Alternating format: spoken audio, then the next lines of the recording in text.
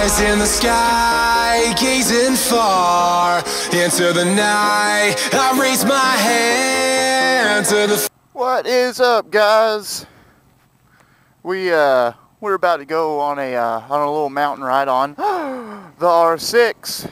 We uh, I say we, me and a buddy on his Grom, we went, and I thought, you know what, I'm gonna take the R6 because I was planning on riding today on the R6, um, and I just wanted to go up there and and you know just ride around and get the feel for it because I've been on the Grom for so long, I haven't rode this thing in forever. So we're gonna take the R6 today. We're gonna do a little Scripture Sunday, do a little vlogging, do a little riding. We're gonna have a blast. So uh, today's verse that I'm gonna go over with, um, it is gonna be the story of Jonah and the whale. Now, most of you know this story. Again, if you watched my videos, you'll know that uh, I also did. Which one was it? Oh, crud. I don't think it was the walking on water one.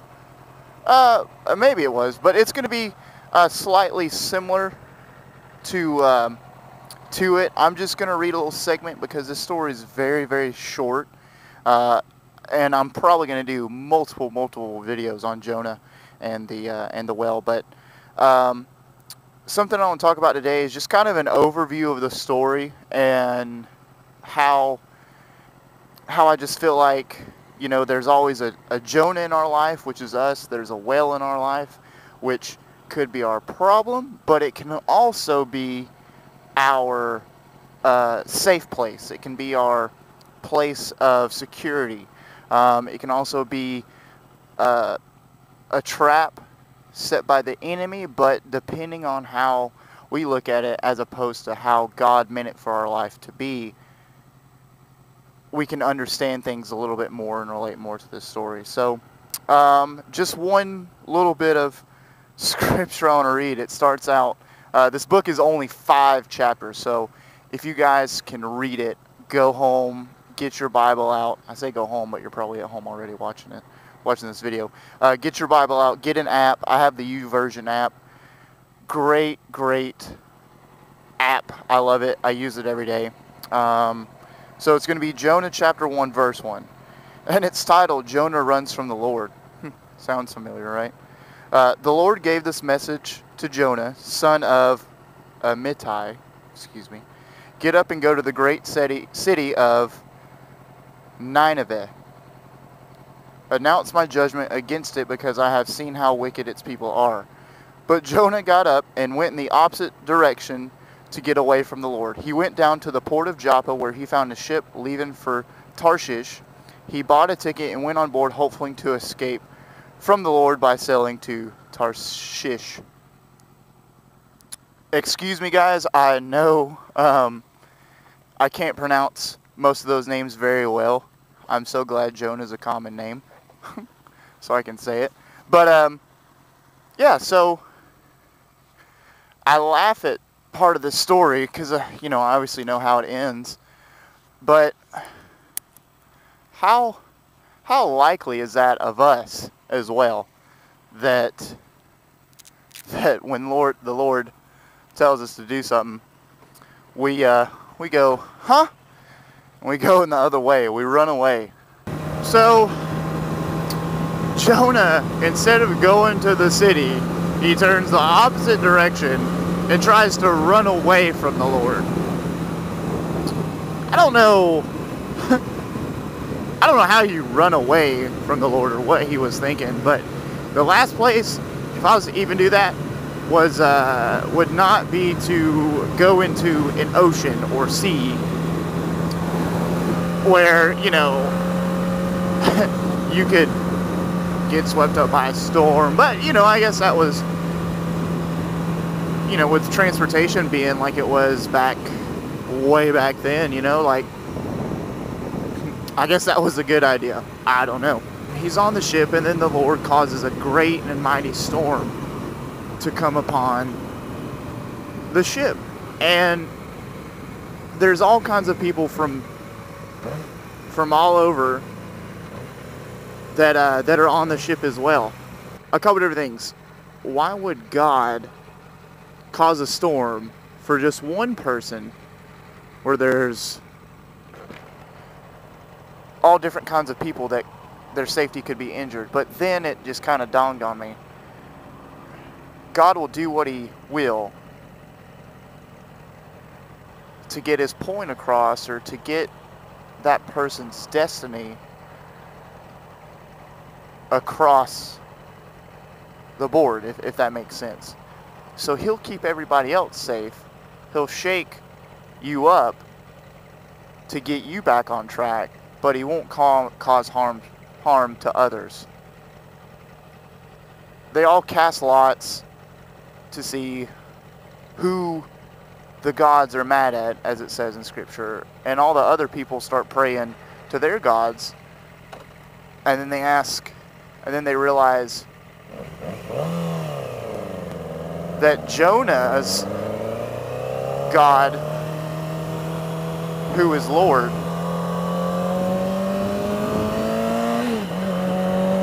who made the heavens, the earth, and the the sea, and then they all gasp. They're like, "How could you? How could you run away from the Lord? He's angry at you." As all the other people, they didn't worship the Lord, so they were they knew they were in big trouble. And Jonah said, "All this trouble is because of me.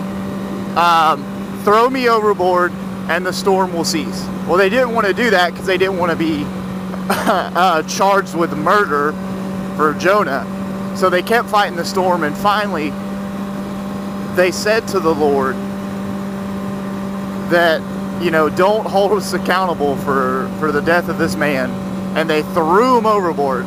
And then the storm stopped, and they, uh, it says they made a sacrifice, or they uh, sacrificed uh, I don't know what it was. I'm sorry, but they they uh, sacrificed something to the Lord and worshipped Him.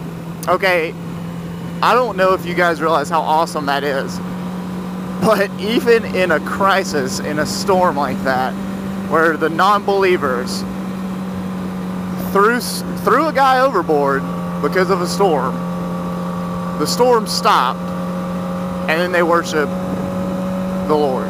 What is that's just a, a testament of how God can use you, how God can use your crisis, how God can use your struggle in your marriage, your struggle in your family, your struggle with legal issues,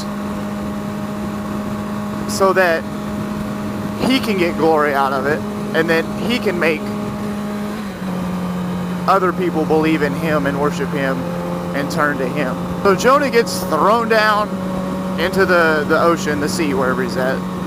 And it said the Lord arranged for a big fish to come and not eat Jonah, but to come and hold captive for three days and three nights. Huh, that sounds familiar to hmm, Jesus.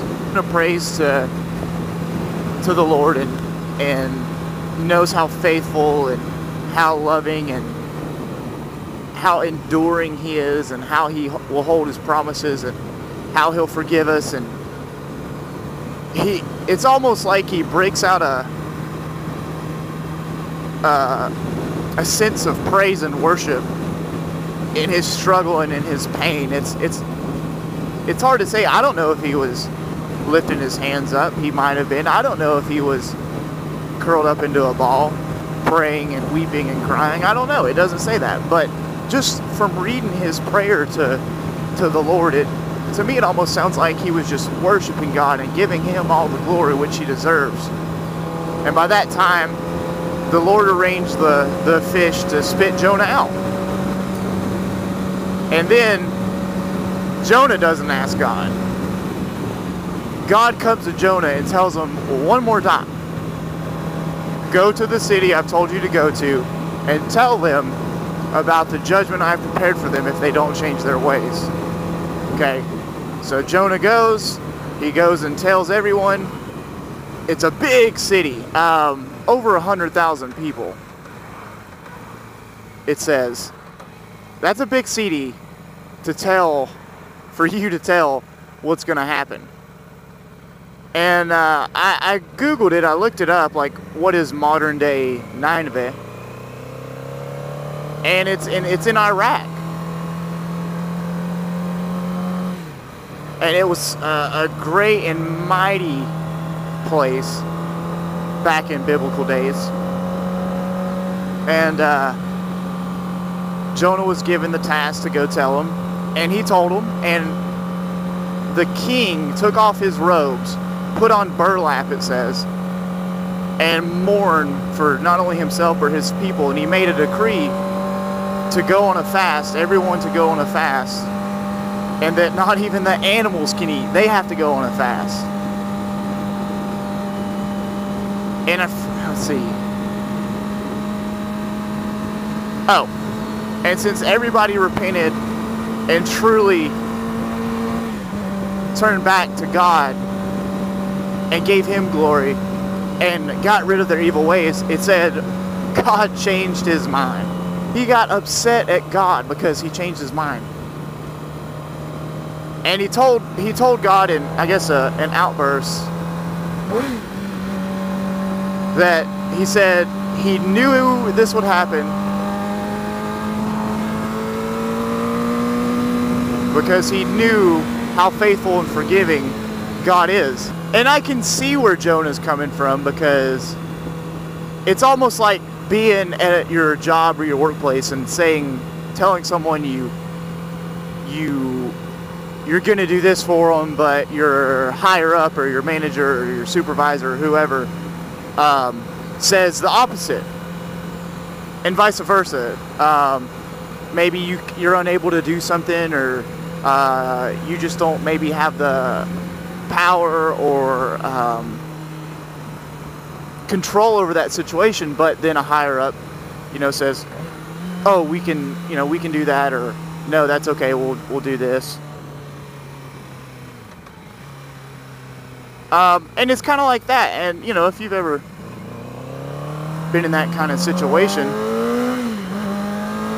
you kind of understand. So Jonah was a little upset because Jonah said, God's going to do this because y'all are doing this. They repented, they, they changed their ways, and God spared them. So that I'm not saying that makes Jonah look bad, but jo- Jonah emotionally probably felt like that. He probably felt like, oh, now I look like a liar. And then it said Jonah went off into the distance to uh, to watch what was going to happen to the city. And as he was sitting there, God arranged a plant to come up and provide shade for Jonah as he was watching. So he felt cool and he felt comfortable. Well, then he also arranged a worm to come eat the plant and to come kill it. And then God arranged for a, a, it says, a scorching east wind to come over Jonah. And it was so hot, Jonah pleaded out and just said, It's better to die than to be like this. And God said, Is it your right to be angry at the plant? And Jonah said, Yes. And then God said, You neither put the plant there or took it away. How much more important is the people of that city because they're living in spiritual darkness. There's so many points in this story, I don't even know where to start. but if God cares that much, it says in scripture about it's the birds that he'll provide for them, how much more does he care about us? But God cares so much about Jonah as he does all those 124,000 wicked people. God loves the most holy person the same as the most sinful person. He he cares about that person's life. He cares about where they're going to spend the rest of their life. Because it's if it's not with God, it's away from God. And God doesn't want that. He created us to be with him forever. it's kind of like when we build something for ourselves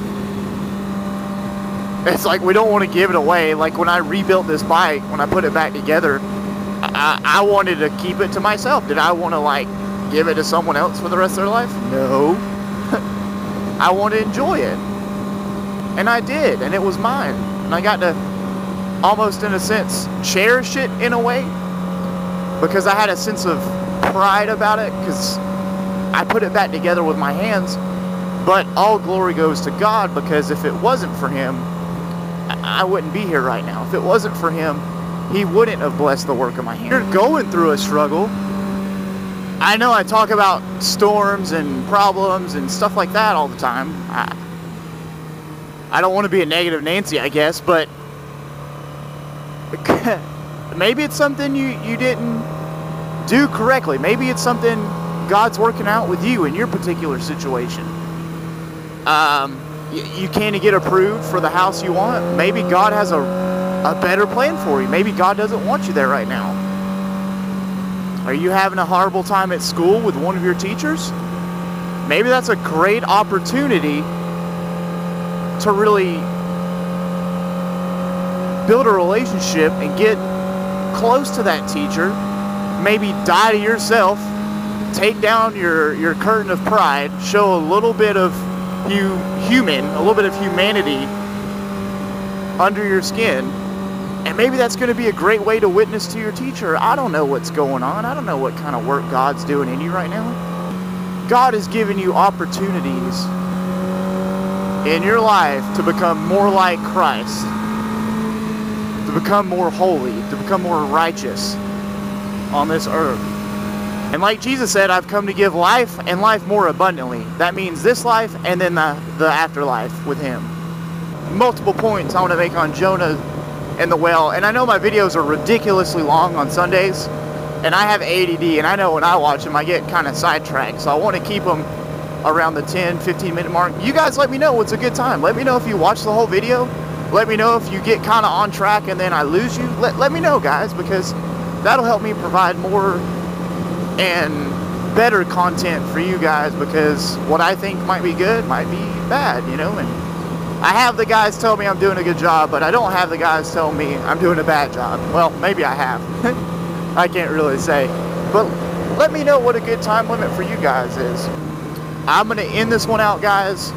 I'm going to have future, not series, but future videos on Jonah and the Whale and talk about a couple of things. I'm going to go more in detail about the boat and the guys that were with him. I'm going to go more into detail about Jonah's personality. I'm going to go more into, into detail about the city uh, and the people in it.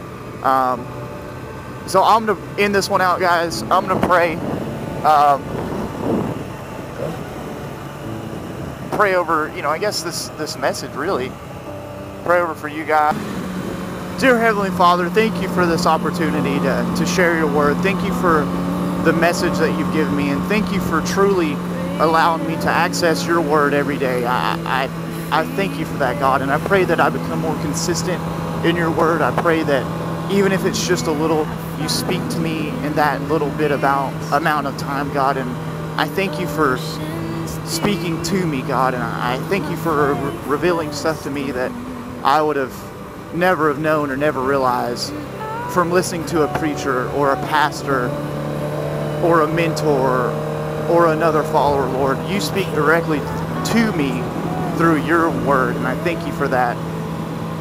I pray over people's lives. I pray over the Jonahs out there that are going through a hard time, that have been bit, that have been given a, a big mission, a, a big plan, and a big destiny that that they're going to go through some things, God, but I pray that they keep right on track with you and that they continue to, to keep their eyes on you, God, and they continually seek to have a personal relationship with you and that you just bless them abundantly and you show them a little bit of the reward, God, because we know what the reward is and we just have to visualize it. We have to go after it. We just can't lose faith and hope, God. And I thank you for determination. I thank you for for persistence and I thank you for all these humanly actions that, that we can take that bring us closer to you because you cre- created them all.